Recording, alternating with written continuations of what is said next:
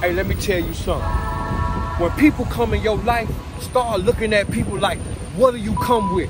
Like, are you coming with the tea? Are you coming with the juice? Like, when you get a phone, a phone come with a, a, a charge. It come with the juice, right? Like, a car come with a battery and a fuel tank and an engine, right? That's to take you somewhere. But drama, yeah, that drains you. And the best thing you can do in life is distance yourself from people who love drama and retire from drama itself. Like, I like to hear about other people's drama, but I don't want to talk about that. Hey, I got to get around people that's trying to talk about ideas. See, winners talk about winning, yeah, and losers talk about winners. Which one are you? You gotta understand when people work together, man, at the job, yeah, they talk about all the co-workers with you. Guess what? When you go to lunch, they talk about your ass. Yeah, and I ain't got time for that. I'm talking, I'm talking to people that trying to bring some fruition in my life. I ain't thinking about the people that's trying to bring drama, negativity, always got the tea, never got the juice, ain't trying to fill me up with something that's gonna take me somewhere. Yeah, they always talking about how,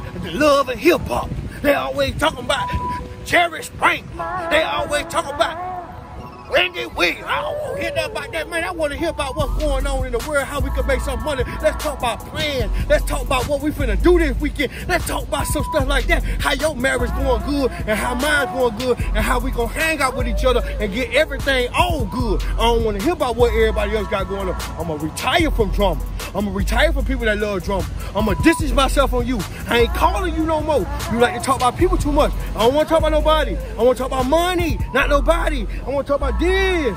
Can we talk about this? If we can't talk about that, don't call me back. I'm gonna hang up in your face and I'm gonna block you so you can't call me back. Understand what I'm saying? Yeah, we the business.